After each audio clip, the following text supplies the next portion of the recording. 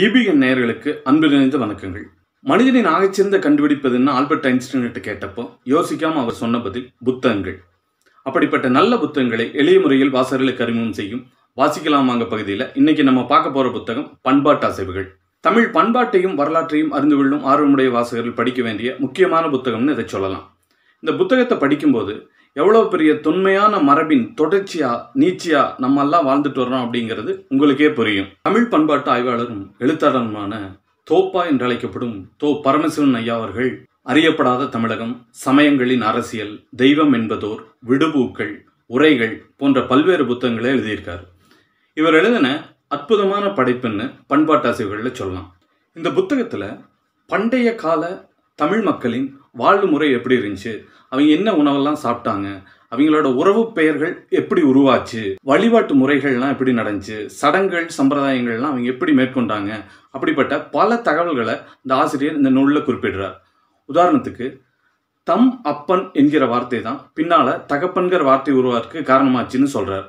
தாய் என்பதற்கு உரிமையுடையவள்னு அர்த்தம்னு தம்பி என்பதற்கு தமக்கு பின்னால் வந்தவன் என்கிற அர்த்தமும் பொதிஞ்சிருக்கிறதா? இந்த ஆசிரியர் குறிப்பிடுறார். கையேந்தி பவன்லேருந்து ஃபைவ் ஸ்டார் ஹோட்டல் வரைக்கும் ஏகப்பட்ட உணவகங்கள் இன்னைக்கு தமிழ்நாட்டில் இருக்கு.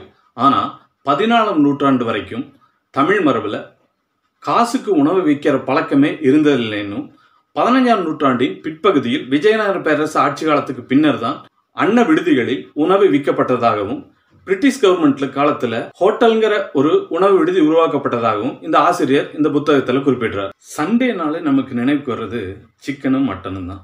அந்த சிக்கனும் மட்டனும் விற்கிற இடத்த கறிக்கடைன்னு சொல்றது இன்னைக்கு வழக்கத்தில் இருக்கு. அந்த கறிக்கடைன்னு ஏன் சொல்றாங்க அப்படிங்கறத பத்தி இந்த புத்தகத்துல சொல்லியிருக்காங்க. அதாவது பதினாலாம் நூற்றாண்டின் இறுதி பகுதியில் தான் சிலி நாட்டிலிருந்து மிளகாய் இங்கே இறக்குமதி ஆகுது. அதுக்கு முன்னால வரைக்கும் குறுமிளகு என்று அழைக்கப்படும் மிளகு கறியைத்தான் பயன்படுத்திட்டு இருந்திருக்காங்க.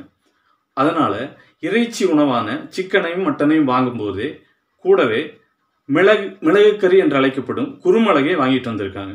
அதனால தான் மிளகு கறியை குறிப்பிடும் பெயராலேயே கறிக்கடைன்னு அழைக்கப்படுதுன்னு இந்த புத்தகத்தில் சொல்லியிருக்காங்க. இதே போல் காய்களோடு சேர்ந்து மிளகு கறியும் விற்றதுனாலேயே அது இன்றைக்கும் காய்கறி கடைன்னு அழைக்கப்படுதுன்னு இந்த நூலில் குறிப்பிடுறாங்க. பண்டைய தமிழ் கலாச்சாரத்தில் நம்ம உடலின் வெப்பநிலையை சீராக வைத்திருக்கும் பொருட்டு தலையில் நீரிட்டு கொள்ளும் வழக்கம் இருந்ததாகவும் அதை குளிர்வித்தல் சொல்லி கூப்பிட்டாங்கன்னு அதுதான் பின்னால குளித்தல் என்கிற வார்த்தை உருவாருக்கு காரணமா இருக்குன்னு இந்த புத்தகத்தில் சொல்லியிருக்காங்க. இது மட்டும் அல்லாமல் பல சடங்குகள் எப்படி நடக்குது அதற்கான காரணம் என்ன அப்படிங்கிறத பற்றி பல இடங்கள்ல பேசுறாங்க. ஒரு பெண்ணின் வீட்டில் ஒரு இறுதிச் சடங்கு நடக்குது. அந்த பெண்ணோட கணவன் கல்யாணமாகி சில மாதங்கள்லேயே இறந்துடுறான். அந்த கணவனின் உடல் அங்கே வச்சுருக்காங்க. அதை சுற்றி உறவினர்கள் எல்லாம் சுற்றி உட்காந்துருக்காங்க அந்த தலைக்கு பக்கத்தில் ஒரு சொம்பில் ஒரு தண்ணி கொண்டு வந்து வைக்கிறாங்க. தண்ணி வச்சுட்டு அந்த தண்ணிக்குள்ளே ஒரு மூணு பூவை எடுத்து போடுறாங்க. அந்த சுற்றியில் இருக்கிற பார்க்குற உறவினர்கள் நண்பர்கள் எல்லாம் ஐயையோ இப்படி ஆச்சு அப்படின்னு சொல்கிறாங்க பின்பு அந்த பாடியை எடுத்துட்டு சுடுகாட்டுக்கு போயிடுறாங்க.